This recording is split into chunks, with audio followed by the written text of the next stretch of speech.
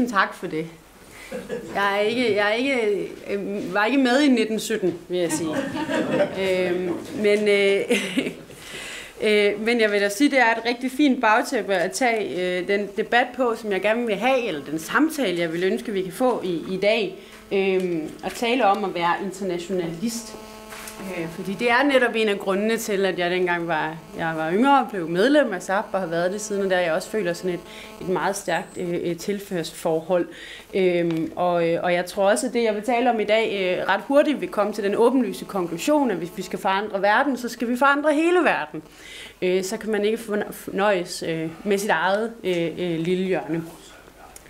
Øhm, det er sådan lidt den store klinge, jeg vil bevæge mig på, og så må I jo øh, se fortabte ud, hvis det går galt, og så skal jeg se, om jeg kan læse jeres ansigtsudtryk. Jeg har valgt at tage briller på, det hjælper altid for mig.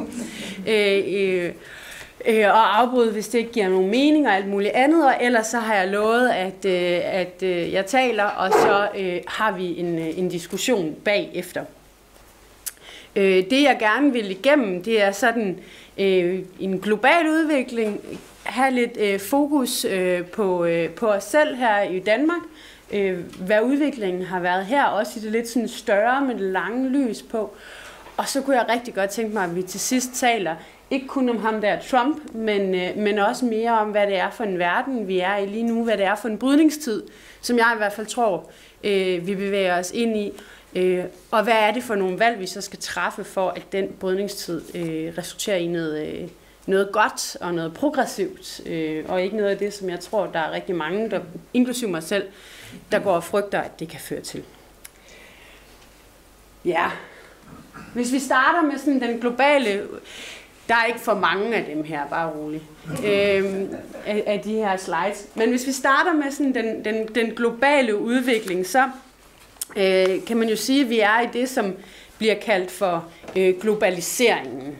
Og, øh, og det betyder, tror jeg, noget forskelligt hver gang folk de siger det, men det er jo et udtryk for, at ikke bare øh, arbejdskraften bevæger sig over landegrænser, det er faktisk øh, mindst af alt arbejdskraften, der bevæger sig. Det er i høj grad øh, kapital, der bevæger sig, og virksomheder, store multinationale virksomheder, som er som transcenderer landegrænser. Øh, så det er ikke kun et spørgsmål om, at man bevæger sig over landegrænser, flytter sig fra et land til et land, andet land. Det er et spørgsmål om, at vi har at gøre med virksomheder, der er så store, at øh, ja, de transcenderer landegrænser, men også nogle gange bliver større end enkelte stater. Øh, både øh, ja, nærmest fysisk, men også øh, finansielt især.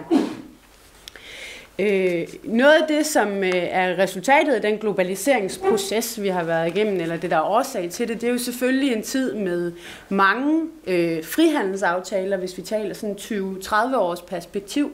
Frihandelsaftaler i øh, store dele af verden. Øh, herhjemme en udvikling af EU, hvor at det indre marked blev mere og mere fasttømret. Øh, Øh, og man taler nu om, øh, om et Europa i flere hastigheder og flere rum, ja, men i høj grad er det indre marked i EU, øh, og den frihandelsaftale, som det startede med at være, har også udviklet sig øh, rigtig kraftigt inden for de seneste årtier. Øh, men dog med selvfølgelig den man sige, overbygning, at, at vi også taler om, om suverænitetsafgivelse i EU på, på nogle helt andre niveauer, end man gør med andre frihandelsaftaler. Det, der til gengæld ikke sådan transcenderer landegrænser, det er den beskyttelse af lønmodtagerne, vi så ser på den anden side. Øhm, fordi vi har jo det der stadigvæk, øh, det klassiske forhold mellem virksomheder og arbejdsgiver på den ene side og arbejdstagerne på den anden side.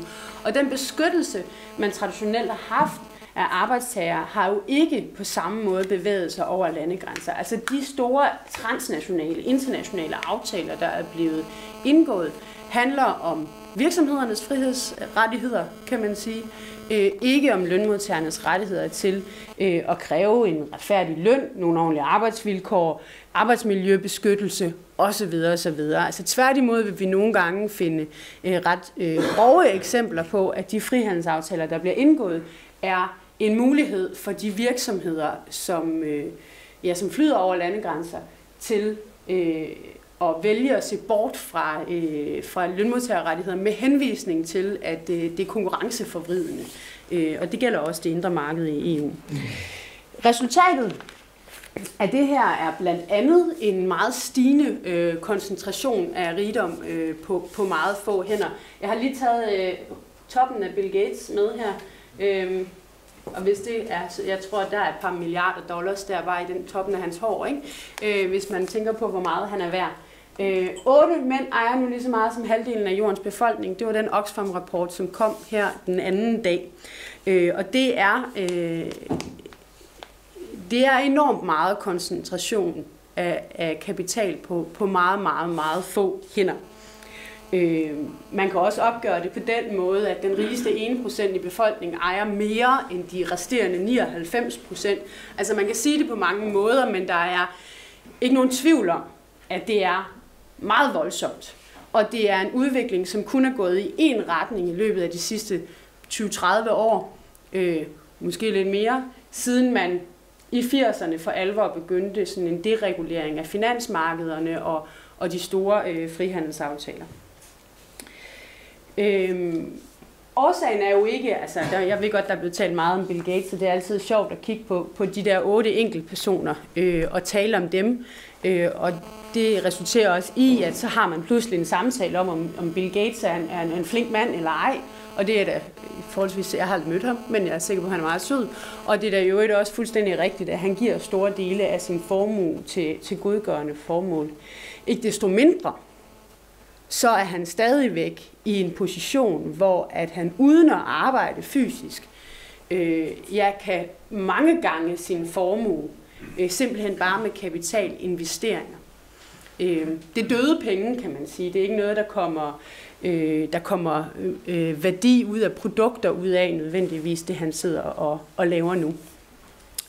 Øh, og, og, og det er jo et bevis på, at det er ikke ham, der er problemet øh, det er et bagvedliggende system. Altså tværtimod, så tror jeg lige frem, at han har været en af, øh, af, af flere af de otte omtalte her øh, mænd, der ejer mere end halvdelen af jordens befolkning. Kom ind for. Øh, som faktisk har udtalt, at det er noget besynderligt noget, at sådan en som ham kan tjene så mange penge uden at betale skat.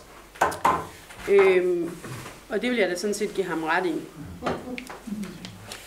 Øh, det, der netop ligger bag, det er, det, er, det er ikke grådighed hos nogle enkelte personer, vi taler om at skulle gøre op med, hvis vi skal gøre op med den voldsomme ulighed. Det, der ligger bag, det er øh, et økonomisk system. Et, øh, et, øh, et økonomisk system, hvor at øh, man kan mene, hvad man vil om, om kapitalismen men øh, som økonomisk system, men det er ikke desto mindre det, der fører til, at man får en så stor ophobning øh, af kapital på, på meget, meget få hænder, som, øh, som vi taler om her. Sådan. Og det er blandt andet et resultat af deregulering. Øhm, det, der nemlig samtidig sker, det er, at øh, omfanget af skatteunddragelse unddragelse, øh, stiger, både på tværs af landegrænse, øh, landegrænser, men også internt i landene. Vi øh, kan bare øh, tænke lidt på vores eget øh, skattesystem herhjemme, og øh, de øh, store, store skandalesager, der har været med inddrivelse af skat. Øh, jeg tror, det er noget, som kan gøre de fleste mennesker forarvet, når man tænker på, hvor mange milliarder, der er, er fosset ud af statskassen. Blandt andet fordi, at der sad en fyr, der hedder Svend, helt alene nede i en kælder øh, og gummistemplede nogle, øh, øh nogle ansøgninger det, det, kan, det kan få de fleste til at blive rigtig vrede. Det er, øh, det er bare vores eget meget velregulerede samfund, hvor det sker i. Når man tænker på, hvad der sker i, i andre lande, så er det meget voldsomt om rigtig mange milliarder, der hver år øh, burde have været blevet betalt i skat, men som ikke bliver det. Øh, man kan også kalde det skatteplanlægning. Det er der nogen, der vælger at sige, når de gerne vil være flinke. Men ikke desto mindre, så er det virksomheder, som øh, uanset om det er lovligt eller ulovligt, forsøger målrettet at betale så lidt i skat, altså bidrage så lidt som overhovedet muligt til de samfund, som de ellers tjener deres penge i. Der er omfanget af skattely og indførelsen eller brugen af det begreb øh, regeringer imellem, som hedder skattekonkurrence. Altså man simpelthen har fået et system nu, hvor at stater øh, konkurrerer med hinanden om at have så øh, Øh, så lidt eller kræve så lidt i skat som overhovedet muligt af virksomheder for at tiltrække dem. Og det betyder selvfølgelig også modsat, at store virksomheder kan presse øh, enkelte lande øh, til at betale så lidt i skat som muligt. Vi har øh, sagen med, med Google og Irland, altså at man forsøger at presse et land til at få nogle helt særlige skattefordele for øh, til gengæld at placere sine meget, meget store virksomheder og de dertil hørende arbejdspladser i lige præcis det land. Det er ikke så, øh, så usædvanligt, tværtimod. Så er der lønpres på de lavest lønnede, og så er der pres på de små producenter, især noget af det, som Oxfam-rapporten også peger på, det er, at lokale producenter, små erhvervsdrivende, bliver i høj grad presset af store virksomheder til at lave priserne så lave som overhovedet muligt. Øh, i kender Walmart i USA, som er et glimrende eksempel på en virksomhed, som har så meget magt og så meget købekraft, at de helt åbent har sagt til producenter af et givet produkt, vi vil have det til den her pris. Ellers så holder vi op med at købe fra jer, og så går I nedenom og hjem. Så forsvinder jeres lille virksomhed med 100 ansatte øh, sådan her fra landkortet. Og det kan de. Og hvem rammer det så i sidste ende? Ja, det er selvfølgelig dem, der går på arbejde hver dag og får en lavere løn, kan man sige. Så, pointen. Øh, vi har en global, stigende global ulighed, koncentration af, af meget kapital på meget få hænder, og det er et system, der sådan set øh, afgør det. Altså det er noget, vi kan vælge at regulere anderledes eller ej. Øh, hvad er konsekvenserne så? Øh, konsekvenserne er, nu har vi talt lidt om, øh, om øh, systemet, øh, konsekvenserne er jo, at ressourcerne mangler nogle andre steder. Altså, det er, øh, det er fuldstændig øh, åbenlyst, at når man koncentrerer så meget øh, økonomisk magt få steder, ja, så er der nogle, øh, især nogle af de fattigste lande, som ikke får gavn af det. Der, hvor du har øh, meget dårligt fungerende myndigheder til skatteinddrivelse, der hvor man er meget, meget presset økonomisk, det vil også være der, hvor at, øh, ja, det er nemmest at slippe for at betale skat. Det er også der, hvor pengene de mangler aller, allermest.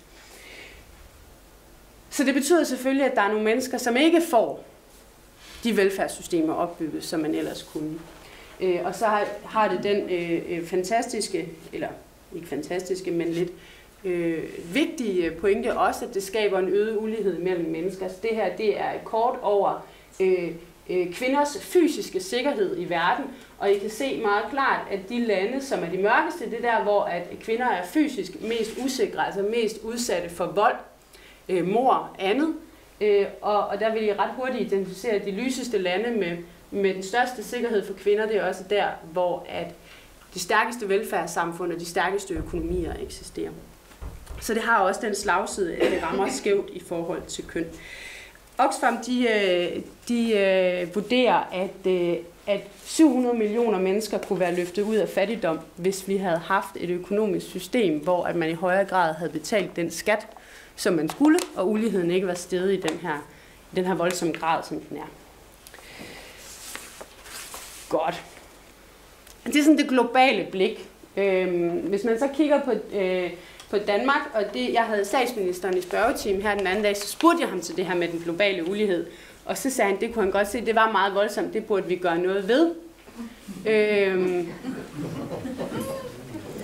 det burde vi gøre noget ved, siger han så, men øh, ej, måske ikke, men det var det, han mente, tror jeg. Måske var det ikke bogstaveligt, det han sagde. Men til gengæld, så ville han mene han ikke, at der var nogen grund til at tale om ulighed i Danmark, altså den stigende ulighed i Danmark. Øh, fordi uligheden, den er øh, ja, slet ikke så høj i Danmark. Der har vi ikke et problem overhovedet. Øhm, ja, det kan man jo så sige. Altså, øh, for det første vil jeg sige til det, at Danmark er en del af verden. Så hvordan vi agerer, øh, øh, har også noget med, med, med den globale økonomi at gøre. Øh, derudover så er jeg ikke enig med ham i, at vi ikke har et ulighedsproblem i Danmark. Jeg har taget øh, en, øh, en graf med, der taler om deciler, og det er ikke for at prøve på at virke øh, mere klog, end jeg er, men det er for meget øh, klart at illustrere, øh, hvordan indkomstforskellene de øges i Danmark. Øh, og det her, det er jo så ligesom de øverste 10 procent, og det er de nederste 10 procent. Og man kan meget tydeligt se, hvordan toppen af vores samfund ligesom stikker af fra alle andre, hvorimod sådan den brede klump i midten, sådan er rimelig stabilt, selvfølgelig opadgående, men, men slet ikke i samme grad. Øh, ja, I kan godt lide, I kan se knækket her i krisen også, ikke? Altså, det er meget tydeligt. Der kan I så også se den laveste, de, de, de fattigste 10 procent, ikke? Øh, så vi har øh, en, en stærk stigende ulighed i Danmark, og sammenligner man med andre lande, øh, bare i Europa, ja, så er vi nu et af de lande, hvor uligheden stiger allerhurtigst. Altså, at det går stærkest det her med, at man at toppen stikker af fra alle andre. Øh, så det er en udvikling, som er ret voldsom, og øh, jeg tror, det var OECD, der havde en opgørelse om, at i, 19, eller i 2040, der vil vi så også stå med en lige så stor ulighedskrise, som man har på global plan lige nu, hvis man kigger snævert på Danmark, hvis vi fortsætter i, i den her takt. Så vi er altså på vej et sted hen, øh, også nationalt set. En af grundene, det er jo selvfølgelig øh, det her øh, knæk her, der sker både fra, for de, den øverste 10% og den nederste 10%. Det er den økonomiske krise, der rammer der i 07, 08, 09. Øhm, og det går det lidt ned ad bakke for øh, os alle sammen, kan man sige. Øh, det, der er det rigtig interessante der, det er jo, hvem der betaler for den økonomiske krise, som rammer. Hvad er det, der sker? Hvad bliver reaktionen på det? Øhm, øh, og, og det, er, det er dagpengene. Vi kan alle sammen huske det. De bliver halveret. Det der, det er en dame med et efterlønsbevis. Jeg ved ikke, hvad hun laver, men altså, det var det, jeg kunne finde på internettet. Øh, men øh, hun står ved sit efterlønsbevis meget stolt frem på en eller anden måde. Jeg prøvede at google en golfspiller for os at illustrere, hvor meget vi talte om øh, dengang mennesker på efterløn, som nogen, som bare gjorde det, fordi de ville spille golf øh, og nasse på alle andre. Øh, og det blev sådan ligesom fortællingen. Øh, sammen med dagpengene, efterlønnen, har det også været uddannelsesnedskæringer, øh, ret kraftige endda, må man sige, øh, som har ført til store forandringer i vores, øh, i vores uddannelsessystem. Det har været nedskæringer i kommunerne. Øh, det er især på ældreplejen, hvor der jo er en stor øh, stigende tilgang øh, og en demografisk udvikling, som betyder, at vi skal pumpe forholdsvis mange flere penge i det område, øh, hvis vi skal sørge for, at, at man kan bare beholde det samme niveau af, af, ja, pleje og omsorg. Ikke? Og det er ikke sket, må man sige. Øhm, det der også sker i kølvandet på den økonomiske krise, som jeg sådan lægger meget mærke til, når vi, når vi, ja, når vi sådan taler om den politiske udvikling, det er, at der opstår nogle begreber, som hedder nødvendighed og ansvarlighed. Og som går igen i politik, i dansk politik, også i dag. Altså nødvendighed og ansvarlighed.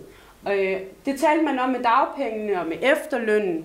Øh, det talte man om, når man taler hvor meget der bliver sendt ud til kommunerne til sådan nær lokal velfærd. Det talte man om, da man lavede folkeskolereform, og når man skærer på universiteterne. Man taler om noget, der er meget nødvendigt, og det er det eneste ansvarlige at gøre. Øh, min pointe med det, det er, at der har været et, et, sådan et politisk krav om smalhals, som i virkeligheden er ført til mere af den samme medicin, der har skabt den krise, vi stod i der. Altså endnu flere nedskæringer, som fører til en mere utryg økonomi, endnu mere deregulering af finanssektor, endnu mere øh, af den her sådan meget frie bevægelighed for, for, øh, øh, ja, for kapital. Nå, hvad er konsekvenserne af det så? Øhm, der er opstået rigtig mange skæld i det danske samfund. Altså, og det at tale om øh, rig øh, versus fattig, det er selvfølgelig ikke sådan et nyt koncept. Det er et skæld, som altid har været der i større eller mindre grad, øh, og som betyder rigtig, rigtig meget. Øh, men den er altså stigende. Hvad betyder det, når at uligheden stiger? Jamen det betyder selvfølgelig, at der er øh, at den der frihed til at træffe valg, til at have muligheder i ens liv, det bliver i højere grad forbeholdt nogle få. Øh, hvis man ikke har et gratis uddannelsessystem, hvis man ikke har gratis ældrepleje, øh, hvis man ikke har børnehaver til en rimelig pris osv., osv. Jamen, så er det klart, øh, så er det noget, der rammer dem, der har mindst. Det rammer også øh, dem, der lever helt ude på kanten, det er klart, men det brede flertal, også der har brug for den der velfærd, øh, og som ikke kan betale for det hele selv, som ikke har råd til tilkøbsydelser, øh, jamen, øh, eller sparet op til dem, det, øh, dem rammer det også. Øhm, så rammer det jo, så synes jeg, der er opstået et skæld, der hedder dem, der er i arbejde, og dem, der er uden for arbejdsmarkedet. En stor del af konsekvensen ved de mange nedskæringer, der har været, det har været, at vi har fået en utryghed omkring at miste sit, eget arbejde, miste sit arbejde. Altså, det er ikke noget, der kan ske for alle. Øh, jeg tror, at de fleste kender en, eller har kendt en, eller selv har prøvet at være arbejdsløs. I løbet af et langt liv, så, altså, jeg tror, der er få mennesker, der kan slippe afsted med ikke at være i berøring med arbejdsløshed på den ene eller den anden måde.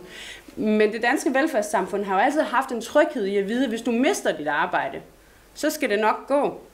Derfor har vi også kunne sige nej til dårlige arbejdsvilkår og alt muligt andet, men den der tryghed, den er ved at smuldre. Vi er usikre på, hvis vi mister vores arbejde, hvad skal der så egentlig blive af os? Øh, kan vi så blive ved med at bo der, hvor vi bor? Øh, jeg har mange venner på min alder, som blev øh, færdiguddannet lige i, i kølvandet på den økonomiske krise, hvor at ungdomsarbejdsløsheden i Danmark altså var oppe og runde mere end hver fjerde. Og når man står og kigger på sin dagpenge løb ud, og man aldrig har haft et arbejde, og man begynder at se, at alle dem, der er nyuddannet nu, de får de jobs, der er til de nyuddannede. Og nu er man ikke længere nyuddannet heller længere, nu er man bare arbejdsløs. Øh, så, er, øh, så kan ens tryghed for, at fremtiden nok skal blive okay, den kan ligge på et meget, meget, meget, meget, meget lille sted. Øh, og der er der rigtig mange af dem, som er ramt af det, øh, også den her dag i dag, hvor øh, arbejdsløsheden den er lav. Der bliver i talesat, der vi taler meget anderledes som folk, der så er uden for arbejdsmarkedet. Der, bliver, der opstår det her begreb at tage et arbejde. Har I nogensinde tænkt over, hvor meget det bliver sagt? At mennesker, de kan tage et arbejde. Det lyder som om, at man kan sådan gå ned i supermarkedet, og så kan man tage en pose ris, og så kan man tage en agurk, og så kan man tage et arbejde. Og det står en fuldstændig frit for. Det er ens eget valg, ikke? Om, om man gør det eller ej. Og hvis man ikke tager det der arbejde ned fra hylden, så er det også fordi, man selv er ude om det. Det er det, der ligger i begrebet. Øh, og derfor er det et meget øh, sigende billede på, hvordan vi flytter øh, skylden og ansvaret over på individet, og dermed også fratager os retten til at sige, øh, jeg har da krav på at blive grebet, når jeg falder.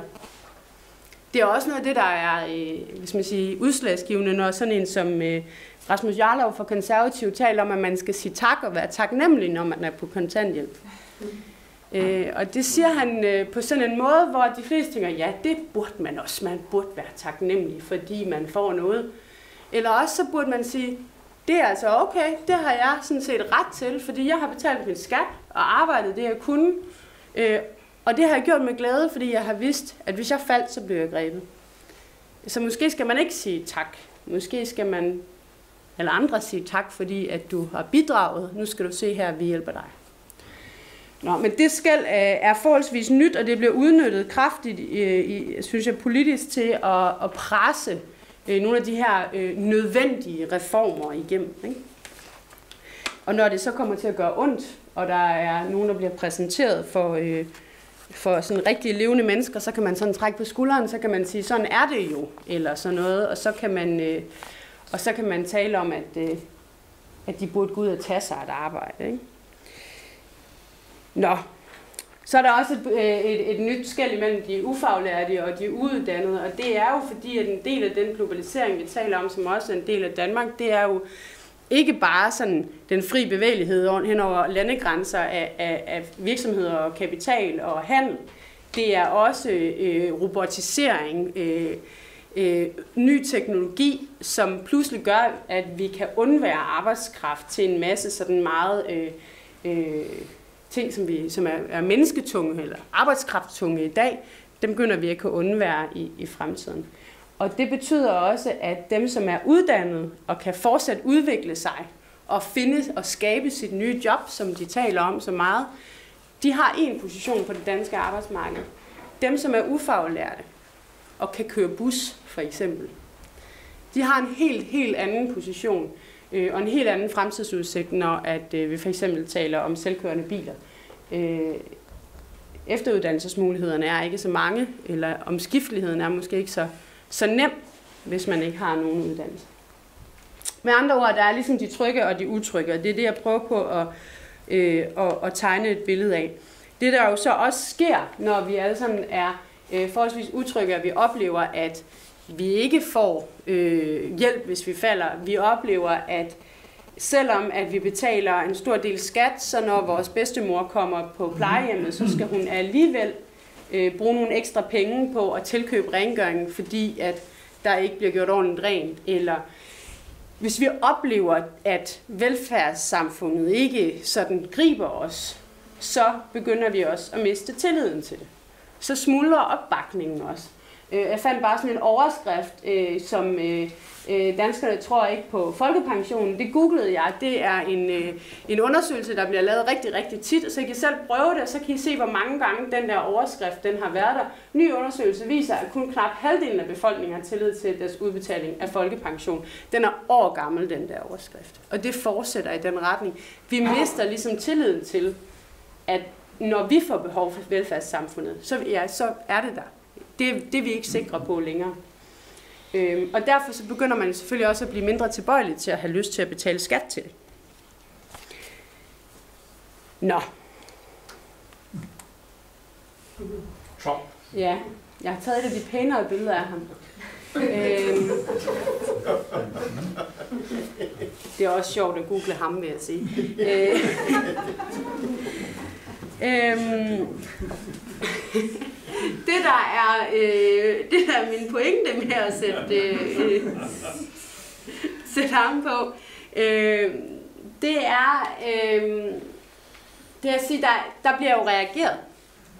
Øh, når at øh, når man er nogle af dem i Vestjylland, i Sønderjylland, eller i, i det der rustbælte i USA, kan man også tale om, som oplever, at arbejdspladser lukker, forsvinder, rykker ud, skolerne lukker, fordi det kan ikke betale sig at have en lokal skole, dem skal vi have centraliseret. Vi får super sygehuse, de flytter sig begge det. Man kan ikke få en praktiserende læge til at flytte derud. I det hele taget, så begynder det at se rigtig, rigtig skidt ud. Hvis man så også er jeg er langtidschauffør øh, og, og opdager, at der er noget, der hedder selvkørende biler, øh, som tager ens arbejdsplads, så har man brug for noget, øh, noget forandring. Øh, det de ofte, de mennesker, de får at vide, det er, øh, og det kan vi også læse rigtig meget om i, i medierne, det er, øh, jamen objektivt set går det bedre. Statistisk set, så er der flere arbejdspladser. Øh, øh, statistisk set, så koster indvandrere ikke noget, vel? De bonus alle sammen, der er plus på konto. Øh, så lad nu være med at være så, øh, så utrygge. Ikke? Øh, det er et elfenbenstårn, hvis I skulle være i tvivl. der er lidt falders over elfenbenstårnet, men det er øh, et elfenbenstårn. Øh, og der er nogen, der sidder heroppe og råber tal ned i hovedet på en lille mand her. Ikke?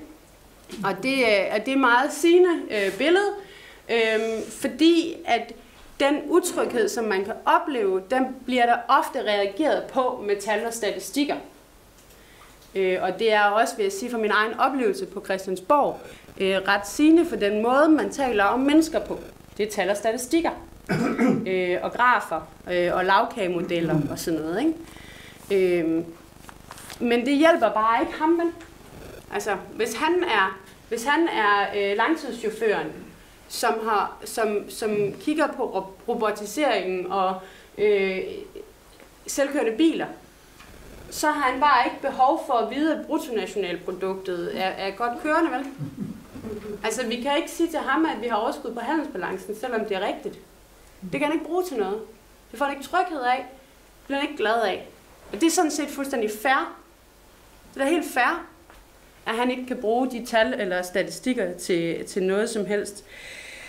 Øhm, altså sådan, det er det samme at sige, at det indre marked i EU, det er, det er godt for den danske økonomi. Det er super for dansk økonomi. Det kan godt være, at det objektivt set er fuldstændig rigtigt, men sig det til lærerarbejderen, som oplever, at flere og flere af hans kollegaer, de ikke taler dansk og får en lavere løn end ham. Og det der med at være fagligt organiseret eller have overenskomst, det bliver mere og mere uleset ude på, en, øh, på byggepladserne. Ikke? Altså det kan du ikke de tal kan man ikke bruge til noget, når man står der. Øhm, og, og der er nok også god grund til at være, have den der utryghed, når man står som enkeltperson. Altså, der er generationer nu, som oplever, at når de som generation vokset op, så havde de flere muligheder, end deres forældre havde. Altså, det hele kom ligesom alle til gavn, og man op, oplevede en positiv fremgang. Vi står over for rigtig, rigtig mange mennesker nu, som kan se, at deres børn får færre muligheder, end de selv havde. Færre muligheder i uddannelsessystemet. Mindre tryghed. Mindre sikkerhed i job. Og det er en helt reel, øh, en helt reel frygt. Velfærden stagnerer, og har jo ikke gjort det i overvis, og der er ingen grund til at tro, at øh, kan man sige, altså ingen grund til at tro, at den folkepension, den er der, hvis vi skal blive i det billede. Øhm, det der så også sker, tror jeg, især i Danmark, hvis vi skal spole lidt ind, det er, at vi i 11 faktisk har en ret stor reaktion imod nedskæringerne. Øh, og vi har en socialdemokratisk regering, der bliver valgt på velfærd eller skattelettelser. Altså underforstået, vi vil velfærden. Ikke? Det viste sig bare at være modsat. Øh, vi troede alle sammen, de mente, at vi skulle vælge velfærd. Ikke? Som jo så deltog i den samme økonomiske politik, som var en del af det der ræs mod bunden med selskabsskattelettelser. Ikke? Som lavede skattereformer, som øgede uligheden, og som hen over den der fireårige periode deltog i præcis den samme udvikling, hvor utrygheden blev større, velfærden blev mindre, øhm, og det øverste decil, de øverste 10 procent, de fik det bedre ikke? og blev rigere. Øhm, og man reagerer på det her. Og det gør man i hele verden, det gør man også herhjemme. Vi snakker tit om Trump, som om amerikanerne må være fuldstændig vanvittige. Men altså, hvor mange procent af stemmerne er det Dansk Folkeparti for herhjemme? Og det kan jeg godt forstå. Dansk Folkeparti taler jo også om nogle af de reelle problemer, folk de oplever.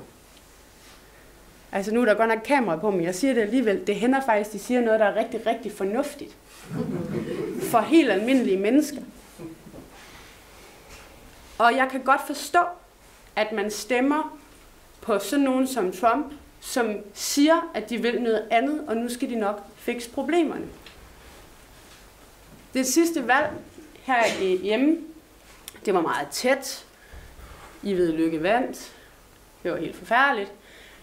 Øh, men hvis man kigger på statistikkerne i det, så var en af hovedårsagerne til det, det var ikke, at folk holdt op med at stemme på de røde partier, og så begyndte at stemme på de blå. Det var, at folk blev hjemme. Det er jo især nogle af de allermest udsatte. De gik simpelthen ikke ned og stemte. Alle dem, der ville have stemt rødt, de stemte ikke. Og det er jo i en eller anden form for håbløshed, magtesløshed. Altså den der, det er fuldstændig lige meget, hvad vi stemmer, så bliver det det samme. Det der demokrati og den der indflydelse, de siger, vi har, altså det har vi jo ikke rigtigt, fordi lige meget, hvad vi stemmer, så bliver, vi, så bliver det det samme. Så man har ligesom to reaktions, objektivt, fuldstændig logiske to reaktioner. Enten så bliver man hjemme, eller også så stemmer man på ham der. Ikke? Og hvad er det så ham her, han siger til os? Det er, at vi skal gå forlæns ind i fremtiden. Altså, jeg ved ikke, hvordan fanden vi ellers skulle gå ind i fremtiden, vel? Altså, det er idiotisk, hvis jeg skal være helt ærlig. Altså, det er da ikke en løsning for noget som helst. Det kan du, du ikke.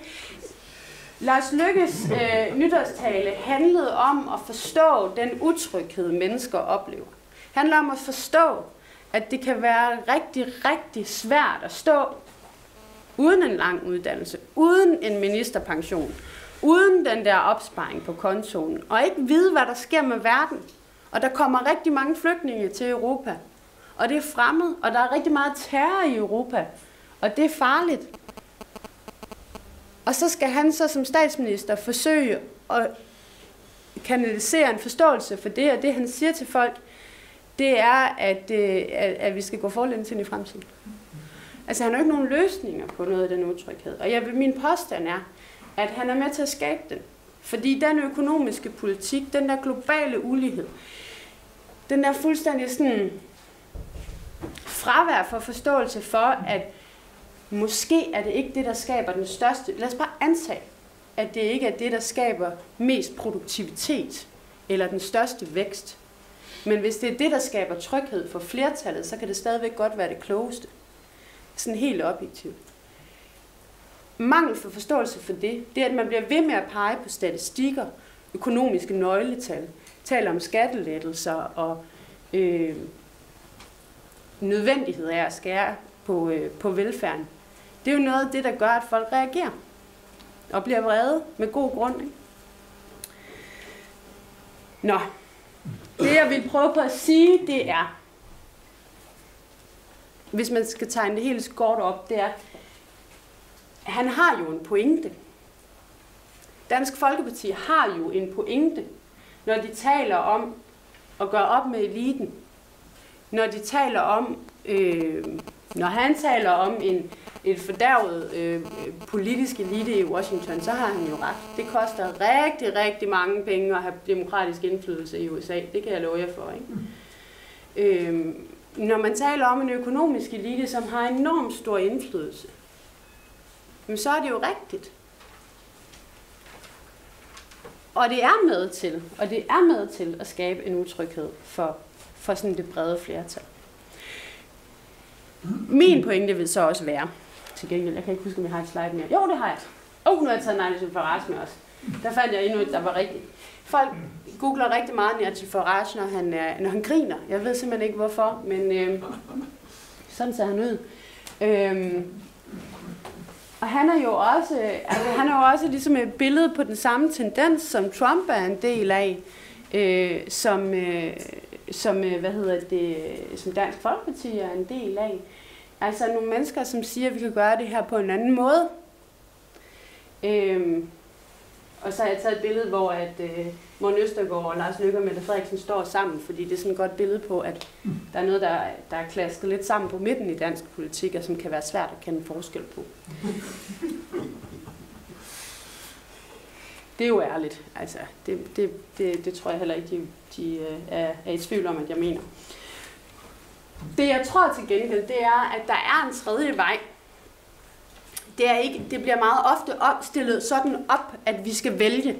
Altså, at vi skal vælge mellem højre nationalisterne og deres løsninger, eller også skal vi fortsætte den her sådan mere ultraliberalistiske vej, som betyder øh, flere skattelettelser og deltage i den her globale skattekonkurrence, dereguleringer, øh, øh, velfærdsforringelser. Og jeg tror faktisk på, at, at vi kan gøre det på en anden måde. Øhm, og jeg tror på, at vi har behov for at begynde i højere grad at spørge os selv og hinanden, hvorfor noget mere? Hvorfor på den måde? Når I siger, at det er sådan, sådan det skal være, hvorfor? Altså, hvorfor kan vi for eksempel ikke sætte et loft over topchefernes lønninger? Hvorfor kan vi ikke gøre det? Hvorfor kan vi ikke hæve selskabsskat? Virksomheder tjener jo også penge ved at være i Danmark. Hvorfor kan vi ikke øh, lave en garanti for arbejde. Hvorfor kan vi ikke sige til folk, at enten så tilbyder vi jer arbejde, eller også, hvis vi ikke kan det, så tilbyder jeg jer tryghed. Er der nogen speciel grund til, at folk skal leve i den utryghed? Øhm, jeg tror faktisk, at man kan, at man kan gøre det anderledes. Man kan, man kan også gøre det øh, uden at sige, nu afskaffer vi øh, kapitalismen totalt, men man kan gøre det ved at regulere det økonomiske system mere. Det er ikke en naturlov, at, der skal for, at man skal fortsætte med mere og mere øh, deregulering og, og, og, øh, og ulighed. Mm. Så vi kan, vi kan indføre en finansskat, vi kan sætte selskabsskatten op, vi kan rulle nogle af skattelettelserne tilbage til de øverste 10 procent, så kan vi begynde at bruge de penge på at skabe nogle arbejdspladser. Så kan vi begynde at bruge de penge på at sikre den grønne omstilling. Så kan vi begynde at tale om, om vækst altid er en god idé, eller vores klode måske ikke rigtig kan holde til så meget mere vækst, og vi derfor skal begynde at fordele det, vi har, øh, lidt mere fair. Øh, og så kan vi også begynde at tale om, hvordan vi hjælper med at få gjort noget ved de øh, skattelylande, som er rundt om i verden, for os at afhjælpe noget af den globale ulighed, som vi er en del af det der er, og nu tror jeg faktisk, at jeg sådan på slaget er ved at være der, øh, er hovedpointen med det sidste, det er, at vi har et politisk valg. Øh, der er ikke nogen øh, naturgivende nødvendighed. Der er ikke øh, der er ikke sådan en, et stempel, der hedder, at du kun er ansvarlig, hvis du vil være med til at vælge en økonomisk politik, som skærer ned på almindelige mennesker. Øh, det er ikke naturgivet. Så hvis vi skal gøre noget, så skal vi begynde at ture at sige, at vi vil noget andet, og vi vil noget progressivt, positivt, som er for alle mennesker, som ikke er øh, hans og Trumps øh, mærkelige idé om, at man kan gøre noget ved muslimer, og så forsvinder verdens problemer. Altså tværtimod, så, så fører de jo en økonomisk politik, som er, er nærmest lige så forfærdelig som den her. Og så skal vi, ja, skal vi spørge os selv, hvorfor, når de siger, at der er noget, man ikke kan gøre. Det tror jeg var det. Ja,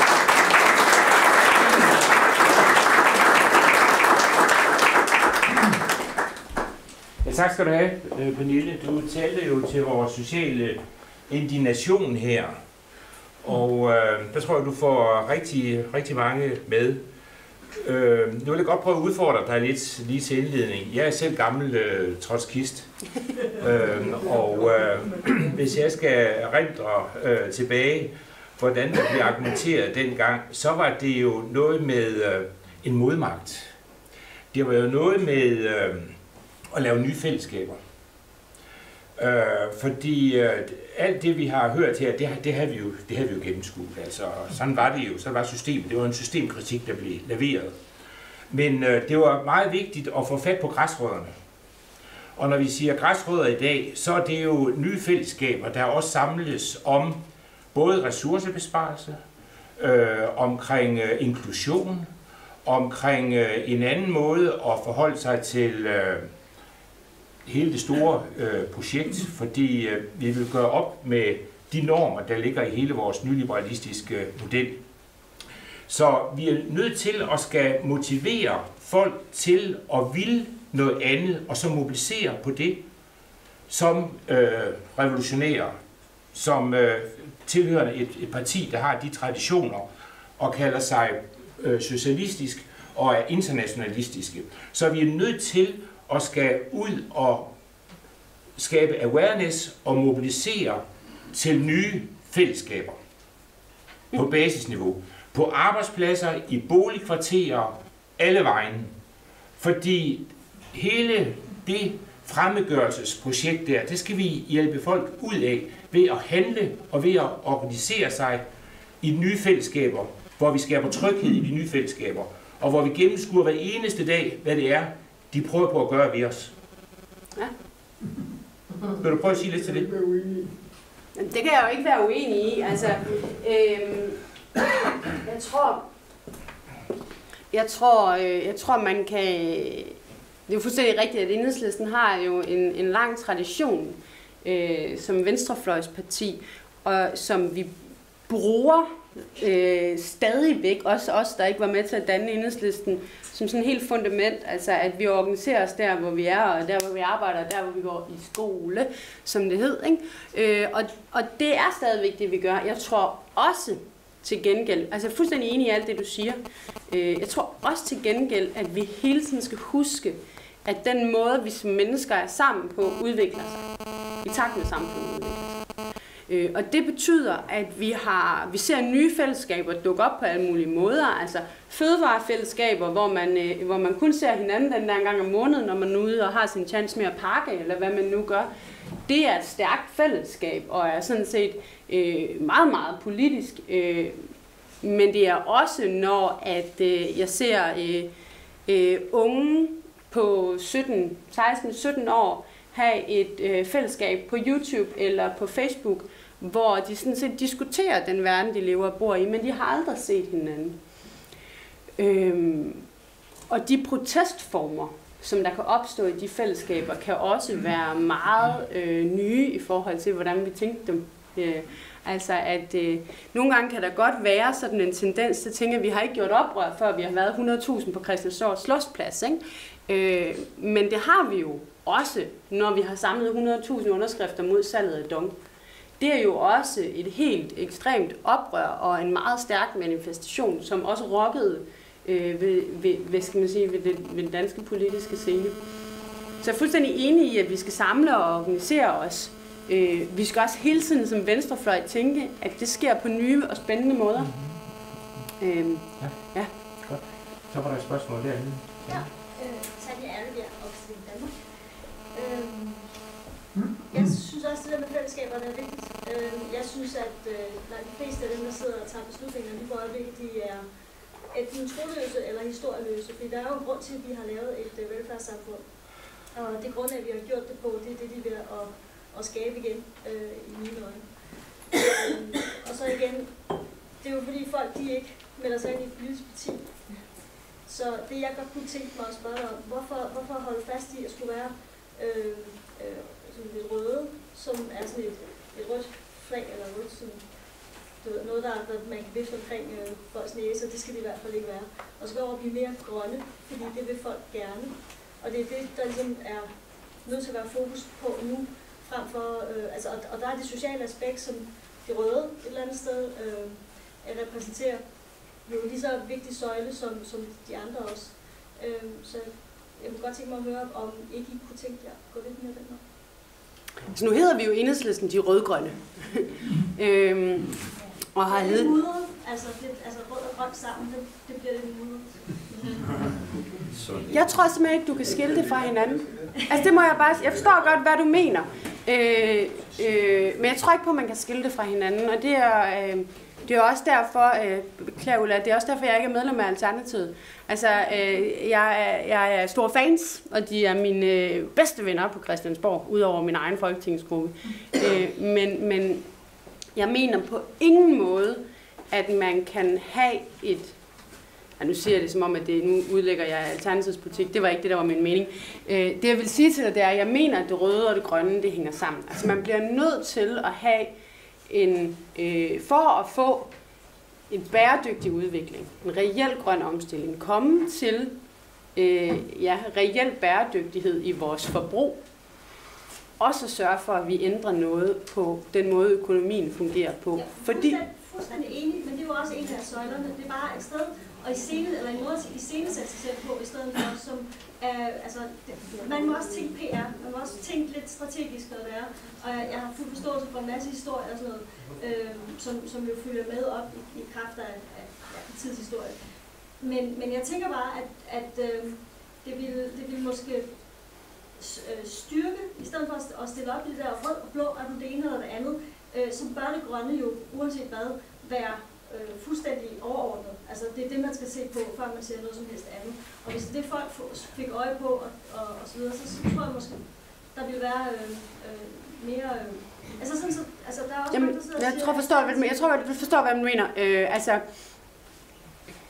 to ting til det. Altså, hvis man tager PR-delen, øh, så tror jeg, at der er meget stor, med al respekt, forskel på at stå her, øh, og så der, da jeg var i øh, Aarhus i et udsat boligområde for et par måneder siden.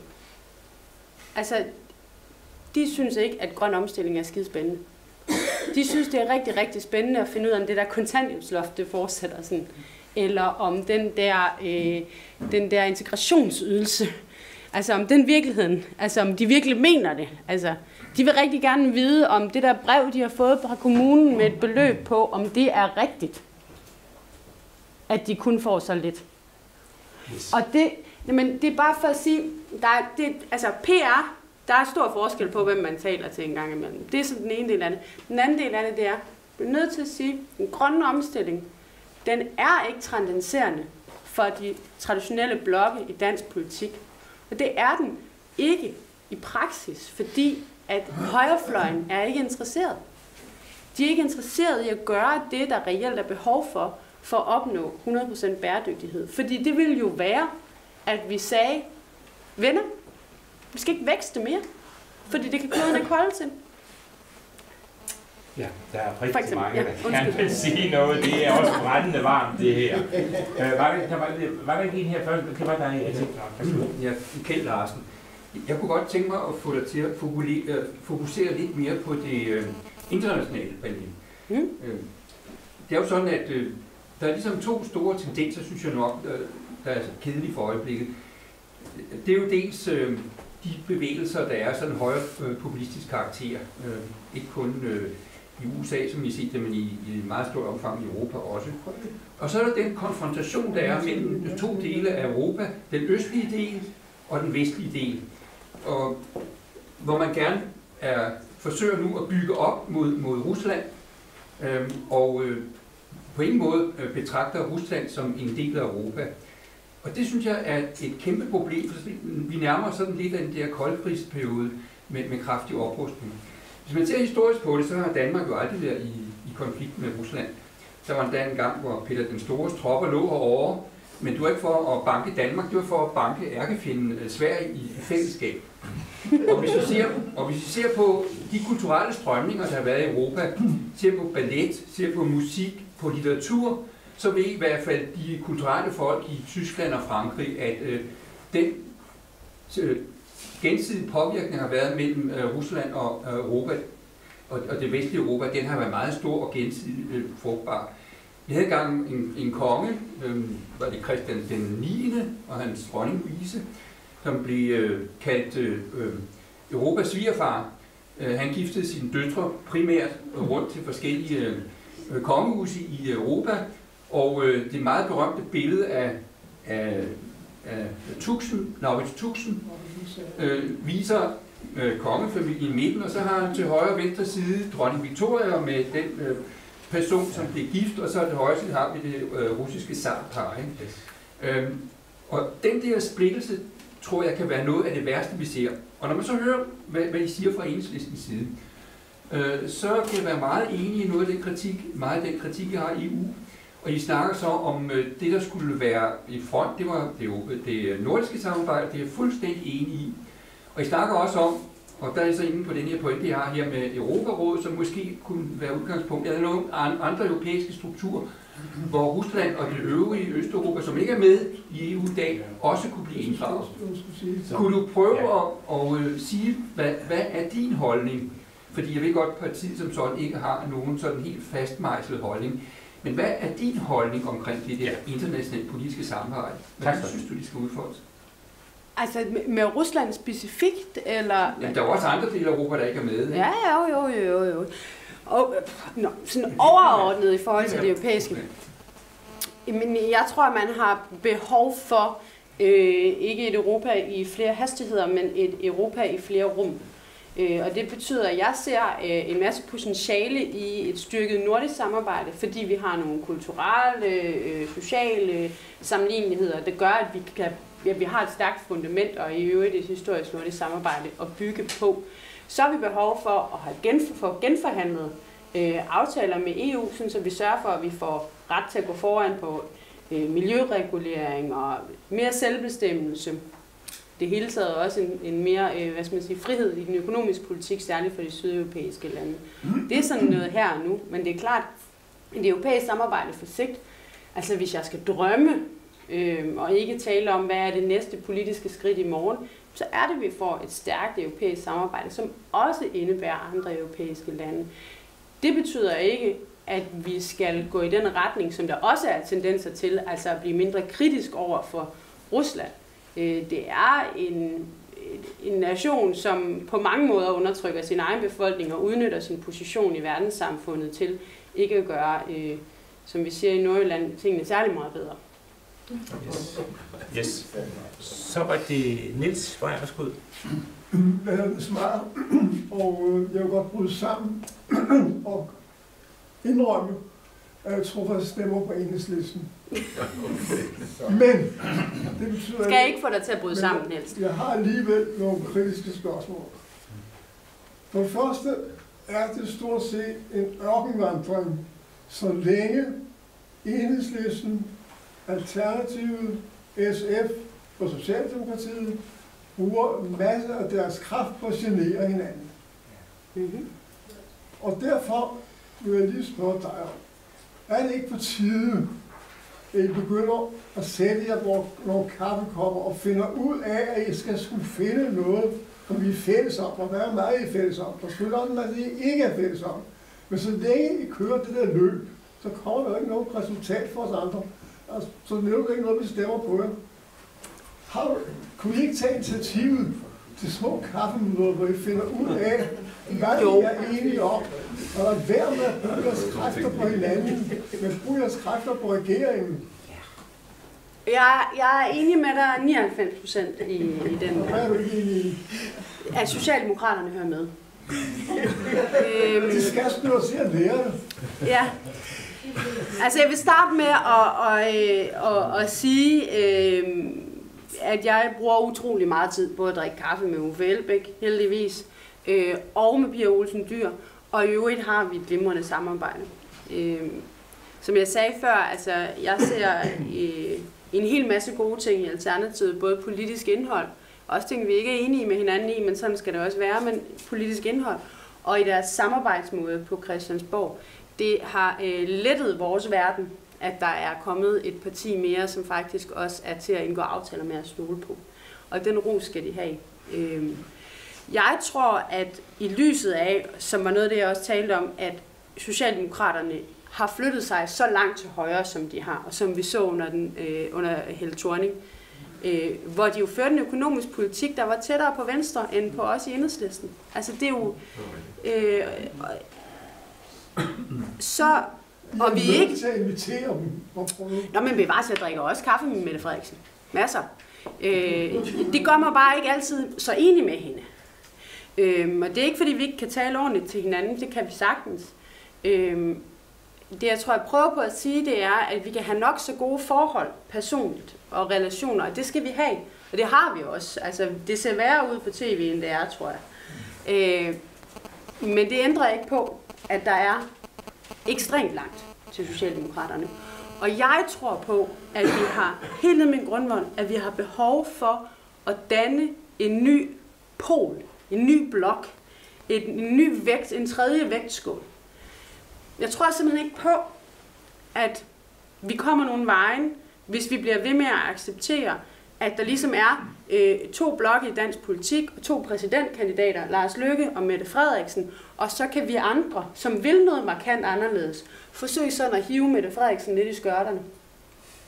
Øh, jeg tror, at der er behov for og grundlag for, at vi, og der taler jeg Enhedslisten, Alternativet, SF, får et stærkere samarbejde øh, og rykker tættere på hinanden.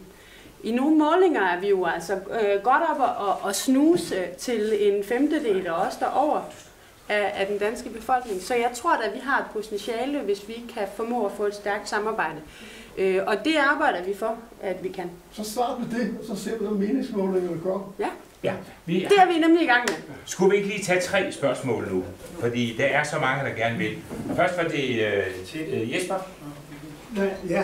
Øh, først og fremmest jo tak for din beskrivelse af den skæve udvikling i Danmark og i verden. Øh, og det er jo så sandt, som det er sagt. Men jeg vil meget gerne høre en analyse fra din side af, hvorfor går det på den måde? Fordi du i samme åndedrag siger, at et flertal i befolkningerne, hvis man maler med en bred pensel, jo er tabere af den her udvikling. Hvor er det, kæden hopper af i det politiske system, som gør, at et flertal bliver ved med at genvælge et politisk og acceptere et politisk styre, som jo virkelig modarbejder det. Mm. Jeg tror, du, for, du forstår godt spørgsmålet. ikke? Og så kan jeg forstå det.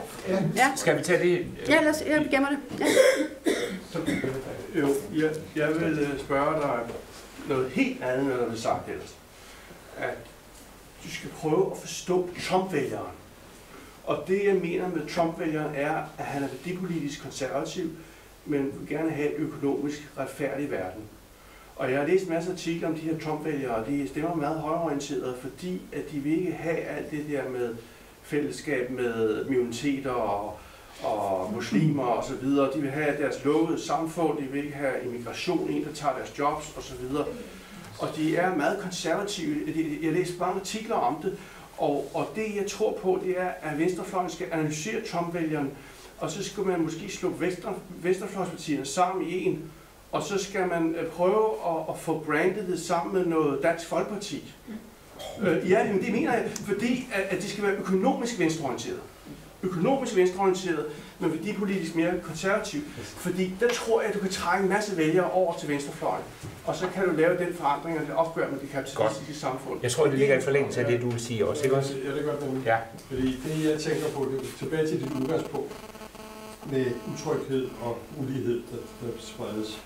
Det tror jeg er helt nødvendigt at adressere det, og det er Mette Frederiksen i hvert fald ikke nået til endnu. Så, så, øh, og heller ikke de andre på. Så, så jeg tror, at, man kan jo spørge sig selv om, hvad er det, der gør, at det udmærkede budskab, du kommer med, ikke finder? For det må man jo konstatere, det gør det faktisk ikke. Vel? Det er for et eller andet, for solidarisk, for sødt, for et eller andet, til, til at det, så har vi en top, der kommer ind. Jeg, tror, det er det, du siger. Jeg tror, at fordi hver gang jeg siger, vi skal være internationale, altså vi hænger i den der store vision om det arbejderfællesskabet på tværs, øh, som, som, som skabte det hele. Jeg tror faktisk, man er nødt til at adressere trygheden, som jo bliver af, af Dansk Folkeparti bliver omtalt til noget med nationalstaten og beskytter os og alt muligt andet, og give og adressere den tryghed til noget, der er tættere på på en eller anden måde. Mm. Tænker I på det? Altså en, en, en, en, en, at man bliver nødt til i en periode måske, og det gør man måske mange steder rundt omkring, bliver nødt til at virkelig at tage fat på det problem. Der tror jeg, der er en mission, som er, kunne være virkelig stærk. Det er præcis som du siger. Gå ind på, hvad det er, der, finder, der fanger de der, selvom det er konservativt. Mhm. Pernille? Det hænger jo egentlig meget godt Ja. sammen, altså, øh, må man sige. Ikke? Øhm,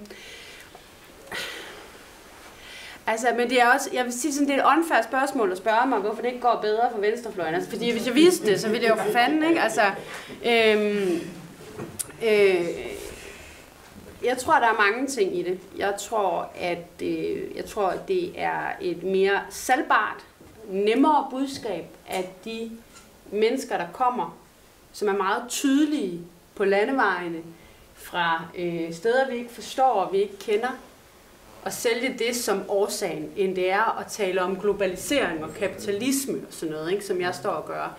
Øh, jeg tror, at det er... Øh, jeg tror, det, eller jeg ved, at det er markant nemmere at tale om. Og det er, det er mærkbart, det er synligt, det er et fjendebillede, det er forståeligt. Og, og som jeg også sagde i mit oplæg, øh, logisk nok giver det en utryghed. Ikke? Så det er i virkeligheden bare at følge sin mavefornemmelse. Øhm, og det er jo sådan, det er, en af, det er et af elementerne. Øhm, et andet af elementerne er jo så også, at vi som venstrefløj skal være bedre til at levere eller pege på, dyrke de reelle alternativer, de løsninger, som vi har. Øhm, det tror jeg, vi bliver bedre til hele tiden. Vi har stærkere og stærkere internationale samarbejde, hvor vi samarbejder med andre lande, som også handler om, hvad sætter vi i stedet for, øh, hvad skal vi gøre i forhold til EU, hvad kan vi komme med konkrete øh, forslag. Vi har lige holdt en meget stor konference, som fortsætter i Rom lige om lidt, som øh, er 22 venstrefløjspartier fra hele Europa, som mødes for at diskutere meget konkrete alternativer til EU og til, hvad vi kan gøre som sådan en plan B.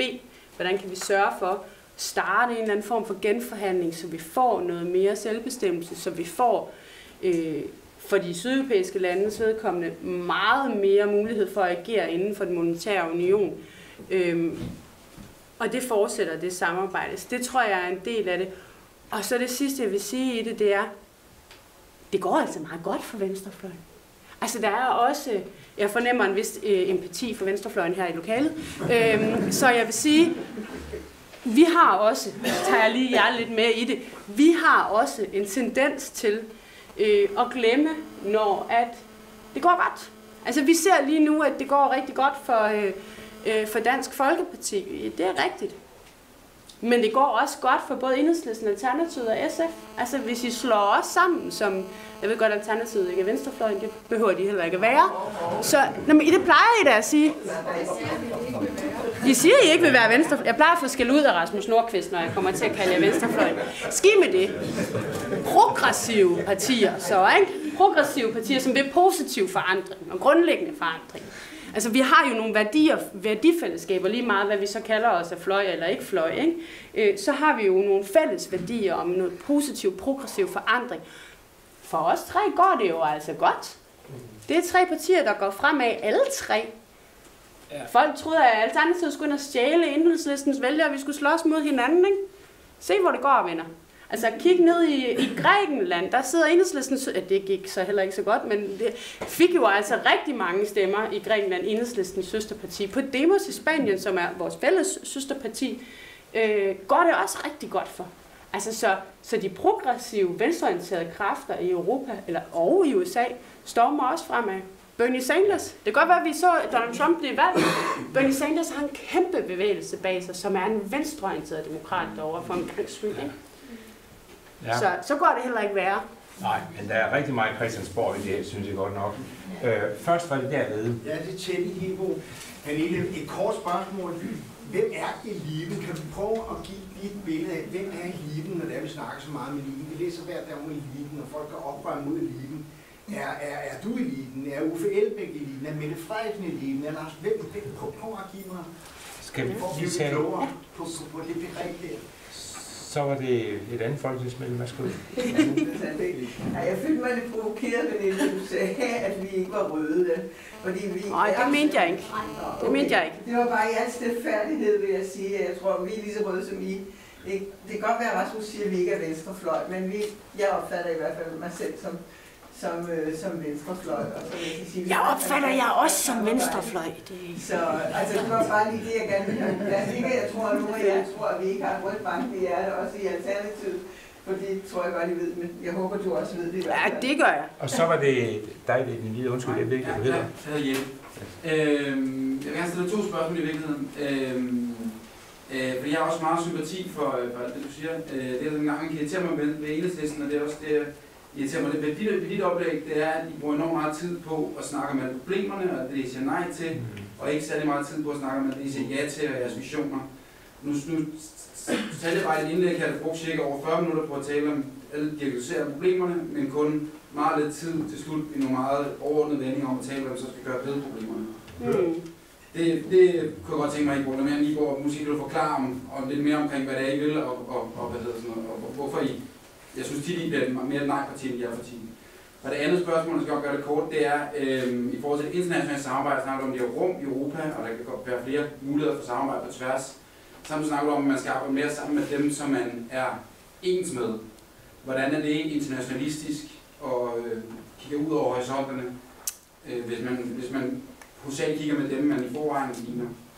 Ja, det var tre spørgsmål. Uh, skal jeg prøve at huske dem. Øhm, hvem, hvem er eliten? Altså, øhm, jeg tror, noget af det, som kan gøre det så forfærdeligt enerverende, det er jo, at man ikke ved, hvem de er. Ikke? Men man fornemmer, at de er der. Øh, og det gør det jo også til et enormt svært fjendebillede at arbejde med, kan man sige. Eller i hvert fald et fjendebillede. Det er den ene ting ved det. Øh, det andet er, eliten er jo i en eller anden grad også en afgrænset gruppe af mennesker. Der er nogen, der er i de øverste 10 procent, altså hvis vi tænker tilbage på decilerne der, der, går, øh, der stikker af fra hinanden, altså så er der en lille gruppe økonomisk, der stikker af. Så er der også i høj grad en politisk elite, kan man sige, som kan identificeres ved navnens nævnelse. Mennesker, som sidder på topposter i dansk politik, og som i høj grad øh, taburetbytter, øh, kan man sige, med øh, mennesker i toppen af dansk erhvervsliv, lobbyorganisationer og embedsværk. Altså der er en, en, en afgrænset elite af mennesker der, som også øh, er hinandens venner, sidder i hinandens øh, VL-grupper og øh, går til hinandens middag og bytter job. Altså øh, i ny og næ. Så der er en, øh, også en, en, en politisk økonomisk elite, som man kan identificere ret, øh, ret nøjagtigt. Og jeg synes, at hvis man, øh, hvis, man skal, hvis man skal dyrke det der med eliten lidt mere, hvem de er, så er der lavet et projekt, der hedder Magteliten, øh, af nogle danske unge forskere, som er rigtig, rigtig dygtige, og som har været inde og identificere øh, nogle af de mennesker i Danmark, som har allermest magt, øh, og hvordan de kender hinanden, og hvordan deres netværk besidder. Det er, det er rigtig spændende. Der er få kvinder, kan jeg afsløre, i, øh, i det netværk. Yes. Nå ja, og Alternativet er venstreorienteret. Ja. Det må jeg ikke sige for Rasmus, men jeg må godt for Ulla, så nu siger jeg det. Jeg synes, I er venstreorienteret. Jeg synes, I har et bankende rødt hjerte. Altså, det er bestemt. der er slet ikke, øh, jeg tror sådan set, det var kun fordi, jeg reagerede på det der med, at der skulle være sådan en, en grøn transcenderende øh, øh, blok, som, øh, som øh, jeg lader være med at bevæge mig mere ud på dybt vand. Øhm, og så det der med de positive. Jeg tror, at du har fuldstændig ret. Altså, jeg tror, du er fuldstændig ret i, at det er da noget af det, der er vores problem. Det er noget af det, der opstår ud for mange, mange års forsvarskamp. Øh, det er, at det lyder så forbistret surt, ikke? Øhm, og at vi bruger jo, fordi vi er og har været i mange år i den politiske situation, som vi er i, så har vi brugt enormt lang tid på, på mange måder at forsvare det bestående. Rul nogle forringelser tilbage. Stop den nedskæring. Gør dit og datten. Øh, eller lad være med at gøre dit og datten i virkeligheden. Øhm, og, og jeg vil da ønske, og jeg tror sådan set også, at det er noget, der er vores kommende tids vigtigste opgave, at vi i højere grad formulerer, øh, hvad så vi gerne, hvis vi fik lov til at bestemme. Ikke? Øhm, men, men, men det, er, det tror jeg, altså jeg tror, dels har du ret i, det er et ømt punkt, dels så tror jeg, at det er noget, som er, er meget naturligt for den politiske situation, vi er i, fordi vi er i en forsvarskamp. Og derfor kan vi lyde både sure, men også nogle gange voldsomt konservative, ikke? Altså, at vi altid gerne vil have det, der var der i går, fordi det trods alt var bedre end det, der kommer i morgen, så længe Lars Lykke han sidder på magten, ikke? Yes. Så var det først uh, Nana. Men altså, hvis vi har 40 minutter en anden gang, så vil jeg gerne lige... Og så er vi Jens. Værsgo. Ja. Ja, hej, jeg hedder Nana Felt, og det var ikke dejligt, at komme i dag. Og selvom jeg er radikal, så er jeg jo fuldstændig enig i rigtig meget af det, du har sagt, fordi vi har jo også et socialt bank bankende hjerte, og er fuldstændig klar over den her ulighed.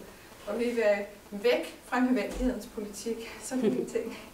Men øh, jeg er jo også europæer, med stort hjerte og vil rigtig gerne internationalt samarbejde. Og det undrer mig, at enhedslisten, som er så solidarisk og gerne vil have, at vi skal samarbejde, at man ikke går mere ind i EU og er med til at sige, at nu laver vi de der fælles løsninger og arbejder på tværs, og for eksempel gik med med retsforbeholdet, hvor der var en stribe retsakter, som faktisk sikrede flygtninges forhold, at vi kunne tage bedre flygtninge, der var en hel masse noget i pakken, man ville fra.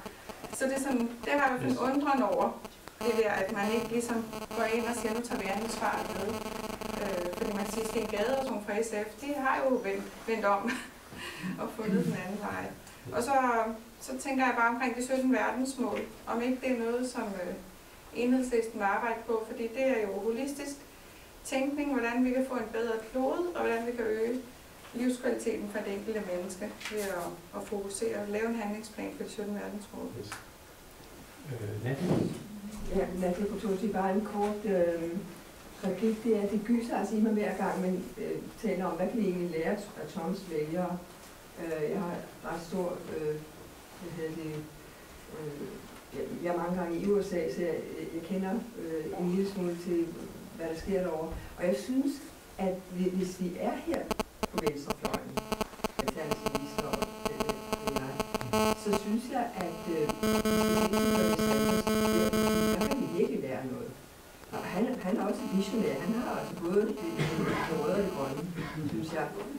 Og det, det er jo sådan helt paradoxalt, at Bernie Sanders, han peger på os som, for, som, som forgang. Danmark og Norden. Mm. Ja. Og jeg mener simpelthen, at han har altså fat i noget, som vi kunne bruge her.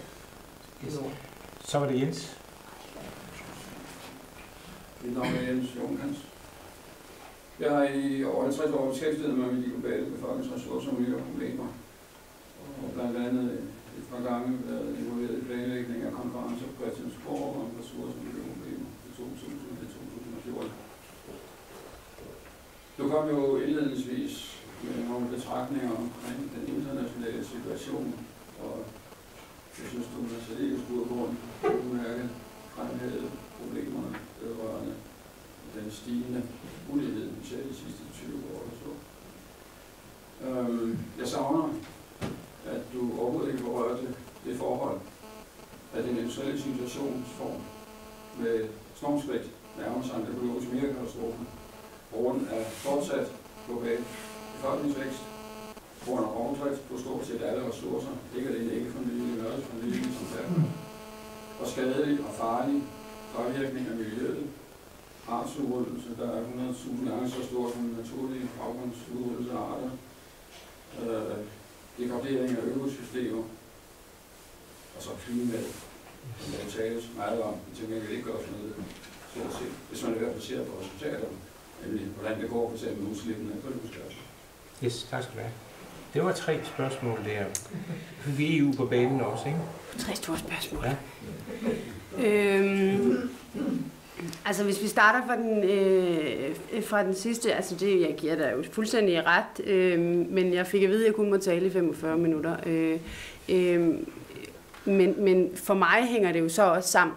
Altså, øh, verden står over for en ulighedskrise, en klimakrise, en fødevarekrise øh, og en flygtningekrise. Og de ting kan vi ikke løse enkeltvis.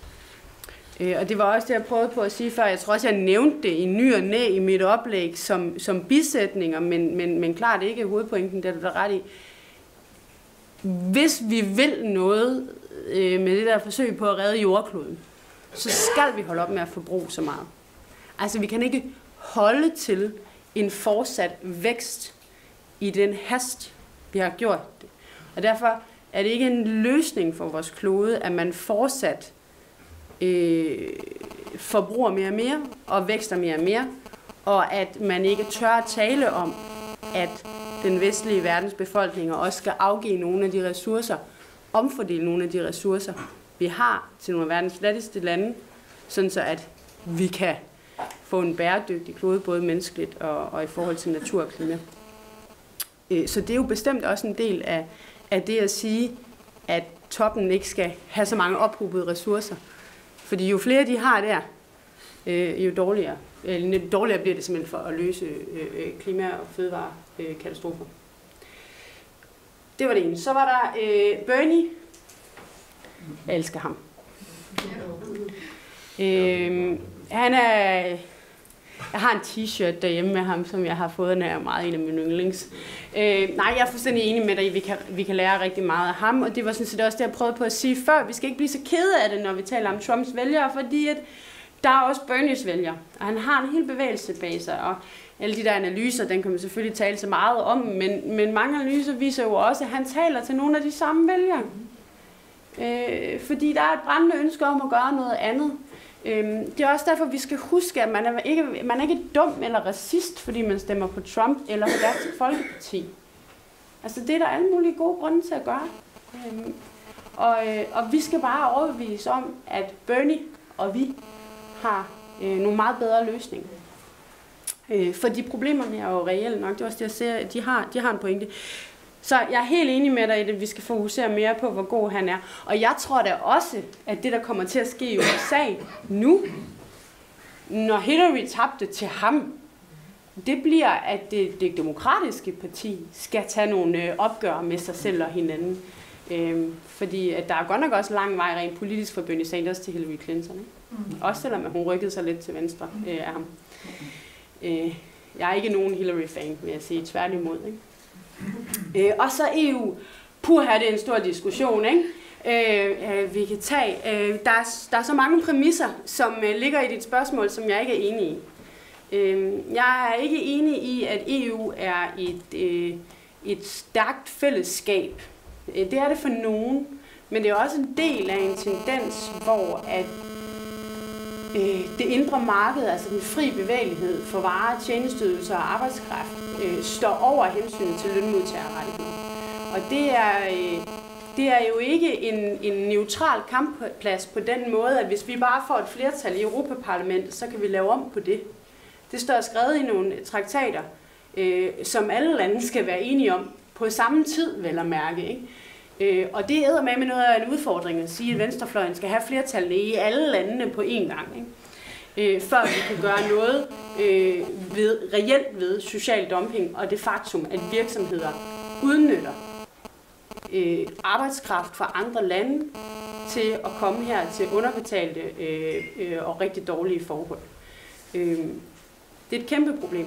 Og det er et kæmpe problem, fordi at at Marine Le Pen i Frankrig og Nigel Farage i, i England og øh, Dansk Folkeparti herhjemme, de øh, bruger øh, øh, det helt tydelige, at, at der kommer mennesker fra andre lande, som taler polsk, og øh, arbejder på nogle vilkår, som man ikke selv kan leve under, hvis man skal forsørge sin familie, øh, til at skyde skylden på dem. Altså på polakkerne og alle de andre, i stedet for at skyde skylden på de øh, virksomheder, som, øh, som, som udnytter dem. Jeg har sådan set ikke, øh, man kan ikke bebrejde mennesker, at de, at de forsøger at, at finde et levegrundlag, der er bedre øh, end der, hvor de er øh, for rigtig mange vedkommende. Så, øh, så jeg ser ikke EU som det der stærke fællesskab. Øhm, og, og retsforbeholdet var ikke et forsøg på at give os mere demokratisk selvbestemmelse, eller give os ret til at gå foran på miljøregulering, som vi er blevet nægtet rigtig mange gange, selvom der var flertal i det danske folketing.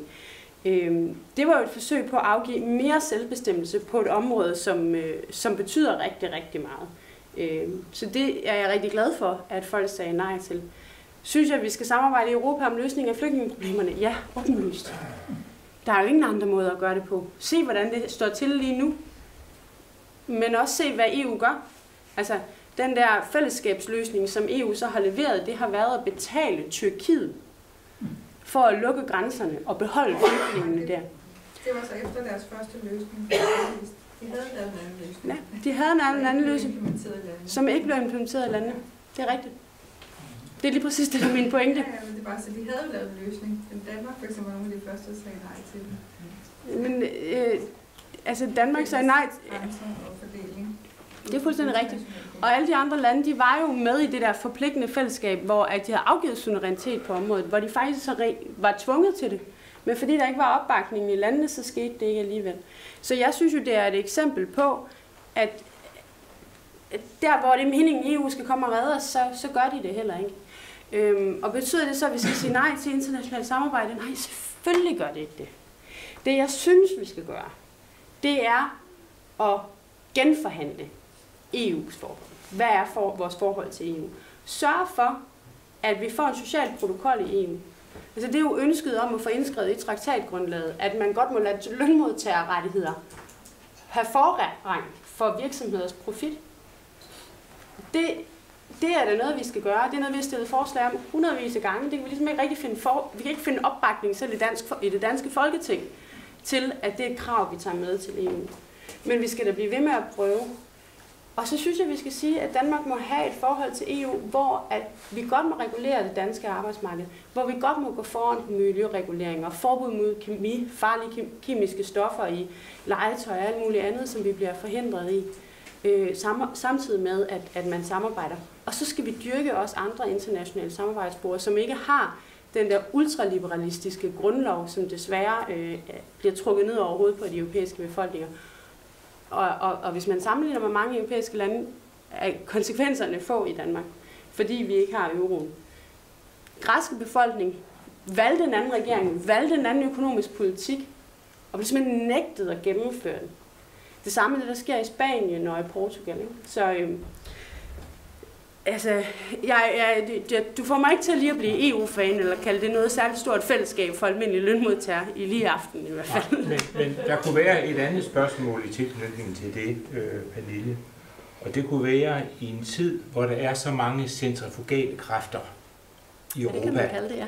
ja. Om det er tiden nu at sige, at vi skal med ind i det kur og trække tæppet væk under det, der trods alt er bygget op omkring menneskerettigheder, omkring så mange andre ting, der er trods alt nås igennem EU. Om, om tiden er til det øh, lige nu? Jamen, det er, jo ikke et, det er jo ikke et spørgsmål. Altså, jeg ved godt, det er ofte, at, at øh, det er i hvert fald ofte, at jeg bliver stillet spørgsmålet, jamen, svar mig lige, Pernille, vil I træde ud af EU i morgen? Altså, jeg vil bare sige, det er jo ikke en mulighed. Altså, det er jo ikke, en, altså, det er jo ikke sådan, at vi kan træde ud af EU i morgen. Og det er heller ikke sådan, at vi ikke skal have nogen tilknytning. Det er et spørgsmål om, hvilken tilknytning man skal have. Og hvor tæt skal den være, og hvor løs skal den være. Og jeg synes, at vi skal have en markant løsere tilknytning til EU, som betyder, at vi kan træffe nogle af de her beslutninger selv, øh, men selvfølgelig stadigvæk samarbejde med resten af Europa. Jeg tror ikke, at vi skal sige, vi skal, jeg tror, at det er forkert formuleret, at man trækker tæppet væk under noget. Jeg tror, det faktisk er vigtigt, at lige nu er der et momentum, hvor rigtig mange mennesker øh, nogle med dårlige intentioner, nogle med gode intentioner siger, vi bryder os ikke om at blive dikteret vores økonomiske politik, for eksempel. Det bør vi bakke op om. Det kan godt være, at vi bliver lidt skræmte, når vi kigger på Nigel Farage i, i, øh, i Storbritannien, øh, på Marine Le Pen. Men vi skal også kigge på Podemos, vi skal også kigge på Syriza, vi skal også kigge på rigtig mange af de venner, vi har i resten af Europa, som opbygger stærke venstrefløjes alternativer, øh, og som bliver forhindret i, i at gennemføre det, blandt andet på grund af, af flere elementer i EU. Dem skal vi da støtte, og det gør vi, tror jeg, ved at kæmpe for, at man får et EU, hvor at der er mere selvbestemmelse øh, til de nationale øh, øh, parlamenter. Og det vender mig en lille smule tilbage til det, du sagde. Jeg tror ikke, at det at have en national orientering er et fyver, eller, øh, eller at vi skal være bange for øh, øh, at tale om, at vi har nogle nationale grænser. Altså det har vi da. Øh, og det er blandt andet det, vores, øh, vores demokrati er, er funderet i. Yes. Men jeg vil godt lige sige, at det vil vi jo sige. Nej, det skal være, det skal være, nu har du lige åbnet munden. Jeg vil bare lige sige, lige på EU-siden. Hvis vi nu alle sammen gør vores eget friere løb på miljøområdet, så risikerer vi jo altså, at det bliver meget værre. Vi bliver bedre, men meget værre i andre lande og meget større lande. Ikke? Er det ikke det, vi risikerer? Er det ikke det, der er trods alt er fordelen med EU? At de sætter nogle, måske ikke de højeste mål, men de sætter nogle mål trods alt, som andre nationer ind over. Jo, men så misforstår du min kritik på, på det punkt. Altså, jeg, hvis jeg skal vælge to helt fundamentale problemer i EU, så er det ene, at det indre marked, den fri bevægelighed, står over alt andet. Ja, det, det køber jeg. Den køber du, fint. Så er der den anden, det hedder retten til at gå foran, sådan i, i daglig slang. Ikke? Og det indebærer ikke, at jeg synes, at alle bare skal lave deres egen miljølovgivning. Fordi jeg synes faktisk, at det lige præcis er et fremragende eksempel på noget, hvor vi har behov for forpligtende internationale samarbejder, øh, som er mellemstatslige, så vi har demokratiet og fundamentet i orden. Men det er jo helt oplagt, at vi laver det sammen. Det skal bare ikke være sådan, at vi bliver forhindret i at gøre det bedre. Køber det helt. Og, og det, der er min pointe, det er, at der kommer masser af gode ting på miljøområdet for EU, som jeg synes, at det er strålende, at vi indgår i. Og det vil være fuldstændig idiotisk øh, at, at lade sådan nogle aftaler ryge på gulvet. Men det er godt nok forbistret, når vi ikke kan få lov til at forbyde kemi i legetøj, for eksempel. Ja. Der blev luftet rigtig mange synspunkter i aften. Der kunne øh, være fortsat øh, endnu længere tid. Men tusind tak skal du have. Vi er blevet lidt klogere på, hvor enhedslisten står. Tak skal du have.